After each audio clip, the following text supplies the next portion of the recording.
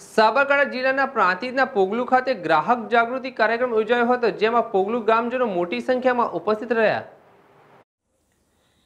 પ્રાંતિજના પોગલુ ખાતે આવેલ શ્રી વારાહી શક્તિપીઠ મંદિર ખાતે ભારતીય માનક બ્યુરો અમદાવાદના સહયોગથી અને ગ્રાહક હિત સુરક્ષા મંડળ પ્રાંતિજના ઉપક્રમે કાર્યક્રમ યોજાયો હતો, જેમાં માનક બ્યુરો અમદાવાદના ડેપ્યુટી ડાયરેક્ટર આશુતોષ શુક્લા હાજર રહીને હોલમાર્ક અને આઈએસઆઈ માર્ક શું છે તે માર્કાવાળી જ વસ્તુઓ શા માટે ખરીદવી તથા હોલમાર્ક એ ગુણવત્તાનું પ્રતીક છે?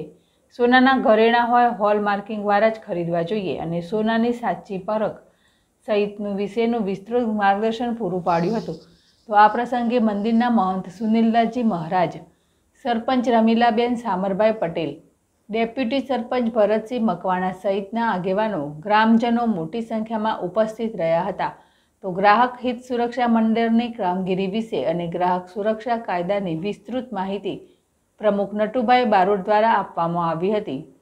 તો સમગ્ર કાર્યક્રમનું સંચાલન મિલનભાઈ કડિયા, મુકેશભાઈ ભટ્ટ તથા સંદીપભાઈ શાહ દ્વારા કરવામાં આવ્યું હતું. જીલ રાવલ, જેડેશ ટીવી, પ્રાંતિજ.